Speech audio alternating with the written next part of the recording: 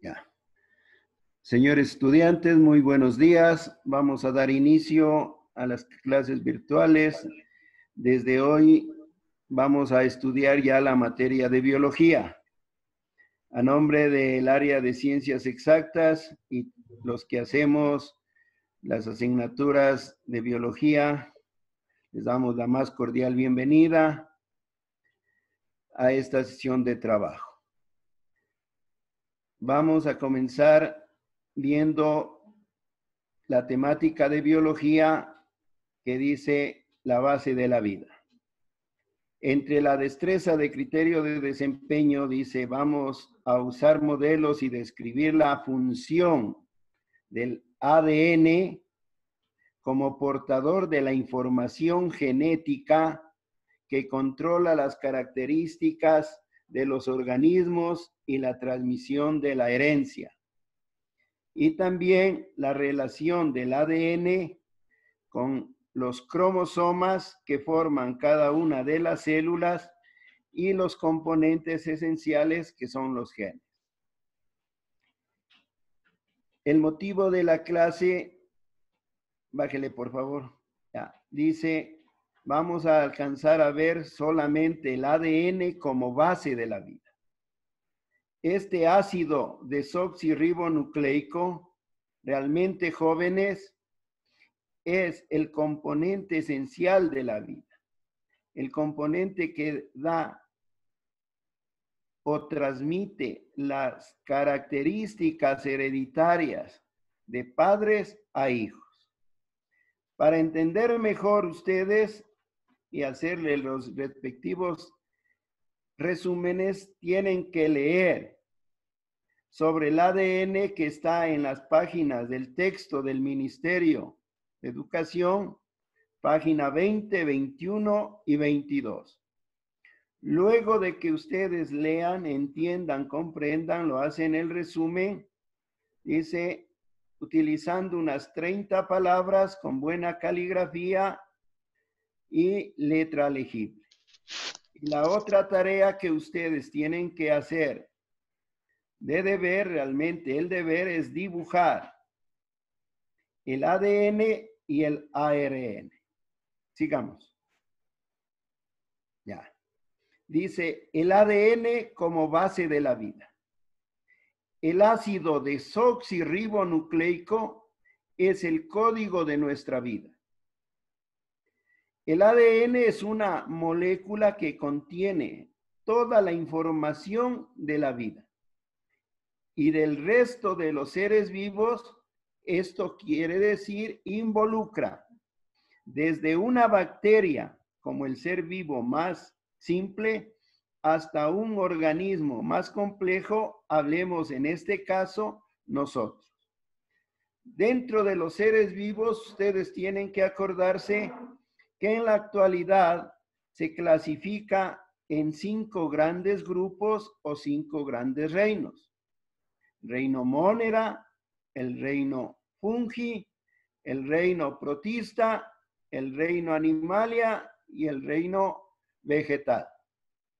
Entonces, en todos estos organismos se encuentra esta molécula de ADN o ácido desoxirribonucleico. El ADN, dice, el ácido desoxirribonucleico conocido también con las siglas ADN. Es un ácido nucleico. Lo encontramos en el núcleo de la célula, que tiene las instrucciones genéticas usadas en el desarrollo y funcionamiento de todos los organismos vivos y de algunos virus, como ustedes hoy estamos palpando. También dice, es el responsable de la transmisión hereditaria, los caracteres de padres a hijos.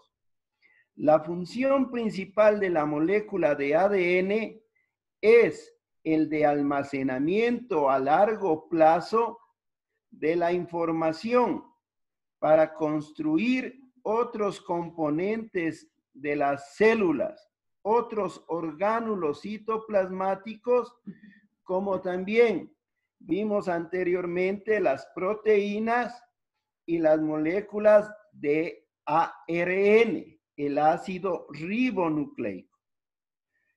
Los segmentos de AD, los segmentos de ADN que llevan esta información genética se llaman genes. Entonces, ¿qué quiero decir?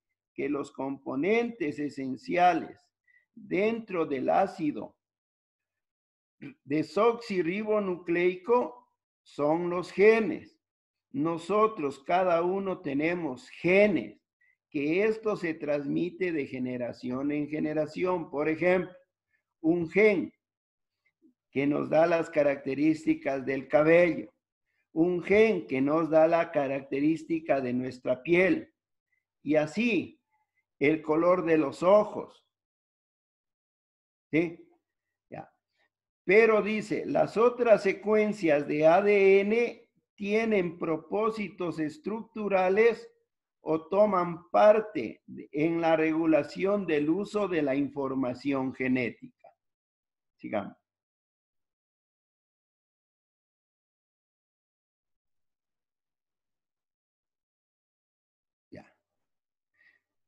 Desde el punto de vista químico, el ADN, este ácido desoxirribonucleico, dice, es un polímero de nucleótidos. Es decir, un polinucleótido. Cada nucleótido a su tiempo está formado por un glúcido. Un glúcido quiere decir un carbohidrato. En este caso, la desoxirribosa. Posteriormente observaremos, veremos cómo es la fórmula de este glúcido, que en sí es un compuesto que está formado de cinco átomos de carbono, una pentosa. También tenemos una base nitrogenada, que puede ser con los nombres adenina y se le representa con la letra A. La timina, que se le representa con la letra T. La citosina con la letra C y la guanina con la letra G. En algunos casos pueden poner o representar mediante letras en minúscula o generalmente se observan las letras con mayúscula. Además, tenemos un grupo fosfato o un radical fosfato, P o 4, el cual se lo obtiene por derivación del ácido fosfórico. ¿Cuál es la fórmula del ácido fosfórico? 314, tres átomos de hidrógeno, uno de fósforo y cuatro de oxígeno. Lo que distingue a un polinucleótido de otro, entonces siempre va a ser estas bases nitrogenadas. La adenina, la timina, la citosina, la guanina, la ubicación. Posteriormente, en un gráfico ya vamos a observar cómo se ubican estas bases nitrogenadas. Sigamos. Ya. Ustedes ven ahí un gráfico, tenemos una célula, tenemos en color blanco, ahí está el núcleo, en color más o menos lila tenemos el citoplasma y la envoltura o membrana celular. Dentro del núcleo tenemos los cromosomas. En este caso, en las células somáticas nosotros tenemos 23 pares de cromosomas en las células somáticas. ¿A cuáles llamamos células somáticas? Las células sanguíneas, las células nerviosas, las células musculares, las células epiteliales. Estas siempre van a tener 23 pares de cromosomas o 46 cromosomas. También a estas células se les denomina con el término haploides. Al costado derecho de ustedes ven ahí un cromosoma. Sí. Tiene unos brazos dos pequeños, dos largos, dependiendo del tipo de cromosoma, y tenemos sus partes. los extremos se llaman telómeros, la parte que une estos brazos se llama centrómeros. Y también tenemos las cromátidas. ¿sí? En la parte inferior ustedes ven, dice pares de bases nitrogenadas. Se le observa el gráfico como que fuese una escalera. Con, ahí estamos representando, dice con color azul, la adenina, con color amarillo, la citosina, con color rojo, la guanina y con color verde, la timina es cómo se van uniendo estas bases nitrogenadas para ir formando las partes del ácido nucleico y por ende parte del cromosoma. Sigamos. Ya. Ahí ustedes observan asimismo, ¿sí? El ADN, cómo están formadas en sí es una forma helicoidal de el ADN. Y ahí tenemos en tonalidades las bases nitrogenadas, digamos. Ya. Dice, dentro de las células, el ADN está organizado en estructuras llamadas cromosomas, que durante el ciclo celular se duplican antes de que la célula se divida. Ustedes saben que las células somáticas, como enuncié anteriormente, glóbulos rojos, glóbulos blancos, eh, células nerviosas, células adiposas, y, ¿sí? Estas cumplen un ciclo celular, se reproducen. Eso quiere decir que aumenta de tamaño. Comenzamos posteriormente en la veremos en tanto en procesos de mitosis como de meiosis, cómo es la reproducción celular. Entonces, de ahí que hablamos que una célula madre da origen a dos células hijas. Y por ende, los cromosomas se van dividiendo. Si hablaba de 23 pares, se separarán 23 a una célula y 23 a otra célula hija y luego viene un proceso de duplicación. Se duplican, dice, antes de que la célula se divida en los organismos eucariotas. Ustedes ya saben la denominación eucariota. Este tipo de células, que son aquellas que tienen un núcleo bien diferenciado, la encontramos en todos los animales en todas las plantas y en los hongos que pertenecen al reino fungi. Almacenan la mayor parte del ADN dentro del núcleo y una mínima parte de elementos celulares se almacenan en las mitocondrias que son una central energética en el caso de las células animales. Y en los plastos o en las células vegetales. Ya. Los organismos procariotas, dice, bacterias y las arqueas, que son otro tipo de bacterias, cianobacterias, siempre lo almacenan en el citoplasma de la célula, no en el núcleo. Y por último, tenemos los virus. El ADN lo hacen o lo almacenan, dice, en el interior de un cápside. Quiere decir que es un, una cápsula, la cual dice está constituida por proteínas. Da, da, da a entender cómo es un virus, ¿no es cierto? Tiene una membrana, una membrana totalmente fuerte. Hagan cuenta cómo en ciertos fármacos que en el interior es líquido, vienen en una cápsula. Hay algo parecido así. Es la protección de los virus y a esto se le denomina cápside. Sigamos. Siga explicando, Brian. Ya, muchas gracias, Rubén González. Bueno.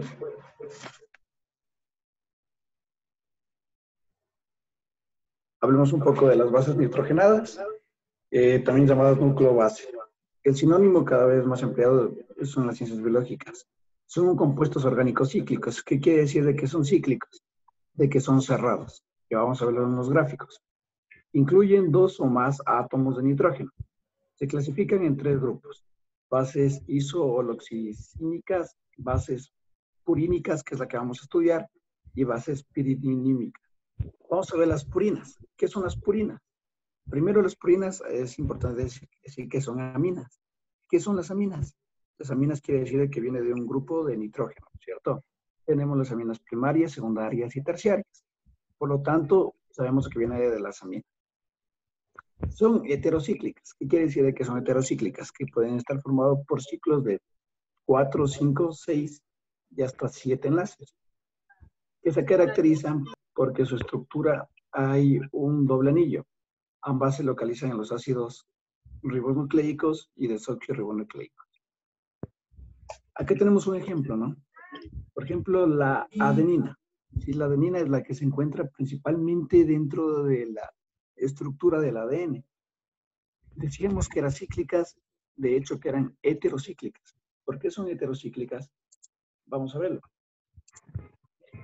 Ustedes pueden ver, tiene un doble enlace, ¿no es cierto? un doble enlace y cuántos, y es una cíclica. ¿Por qué es una cíclica? Porque es un, es un conjunto cerrado, ¿cierto? Y en este caso dos ciclos. Un ciclo formado por cinco enlaces. Uno, dos, tres, cuatro, cinco. Ese es de la izquierda. Y uno formado por seis enlaces, que sería uno, dos, tres, cuatro, cinco, seis. Seis enlaces. Otras de las características de esta adenina es que tiene dobles enlaces. ¿Qué significa que tenga dobles enlaces? De que, miren, acá, por ejemplo, tiene la capacidad de formar y rotar toda la molécula, es decir, este doble enlace rota en toda la molécula con la finalidad de darle estabilidad. Por eso suelen representar las moléculas que son cíclicas en lugar de los dobles enlaces con un círculo en el medio. Y veamos si podemos hacer el círculo si nos sale.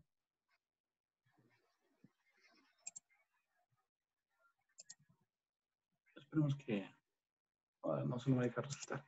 Bueno, el punto es de que te permite eh, darle una estabilidad mayor a la, a la molécula.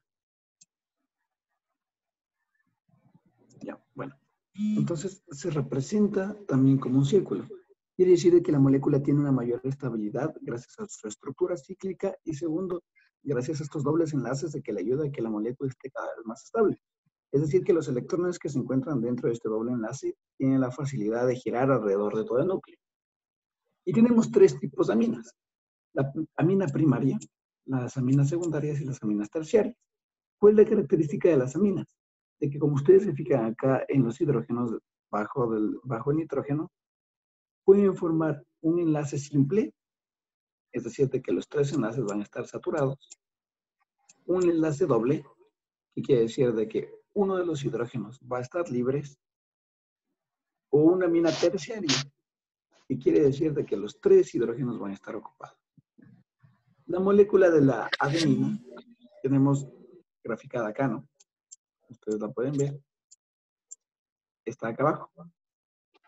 La característica principal de esta molécula, a diferencia de todas las que nos encontramos acá, es de que tiene un grupo amino también externo y está caracterizado por, porque en la izquierda tiene cinco enlaces, uno, dos, tres, cuatro, cinco, y a la derecha tiene un, un ciclo de seis enlaces, uno, dos, tres, cuatro, cinco y seis enlaces.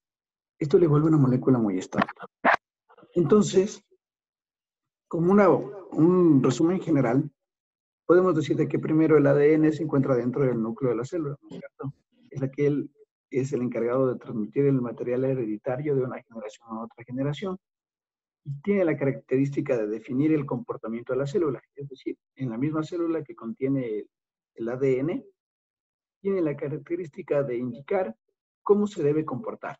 Y como el licenciado lo mencionaba, hay algunas células que su material genético le permiten que estén eh, destinadas al crecimiento del cabello.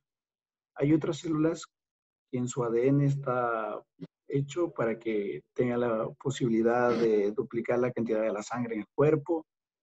Células que conforman el tejido nervioso, células que conforman el, eh, el corazón, etc. Entonces, el organismo del ser humano, si se quiere como un ejemplo, es la unión de diferentes células que en su material genético estaban conformadas para que en su totalidad den la funcionalidad completa al cuerpo. Entonces, como la actividad en clase, que bien lo dijo el licenciado Gonzalo Bolaños, es hacer un resumen utilizando 30 palabras. Es decir, de que vamos, de todas estas clases, que aparte de las diapositivas y del enlace que ustedes, por favor, tienen a visitar el grupo de ciencias exactas, sacar 30, hacer un resumen con 30 palabras, un resumen súper cortito, que lo vamos a leer bastante rápido, ¿no es cierto? Además, vamos a dibujar el ADN y el ARN y poner los nombres de las bases nitrogenadas que el licenciado Bolaño les explicó y además con ayuda de las que yo les explicar eso. Eh, tenemos también la bibliografía, que es el libro del Ministerio de Educación Pública, ustedes pueden guiarse, y además en el enlace que se encuentra adjunto. Entonces, con todas estas herramientas, estoy seguro que ustedes podrán desarrollar de la mejor manera el trabajo. Entonces, recordemos la importancia del ADN y el ARN. Listo, profe Gonzalito. Gracias. Estimados chicos, eh, ¿están activados sus parlantes? ¿Alguna pregunta?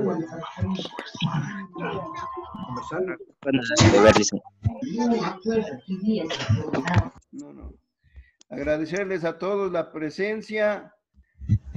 Esta semana nos es de estar más en familia. Ustedes valoren lo que es la familia. No es libertinaje, no es de estar en las calles, como veo que algunos salen, cuidémonos por el bien nuestro, por nuestras familias y pasemos una linda Semana Santa en nuestros hogares. Muchísimas gracias, señor estudiantes. Muchas gracias, Brian. Gracias. Igual para todos, chicos, que les vaya muy bien, que tengan un gran fin de semana y por favor realicen las tareas y volarse todos los trabajos. Que les voy a mandar eh, mañana más tardar la lista de las personas que me deben deberes antes de subir las notas finales al sistema. Así que por favor, ayúdenme con esos deberes, los que les faltan. Y eso, chicos, que les vaya muy bien y muchas gracias. Hasta luego. Chao.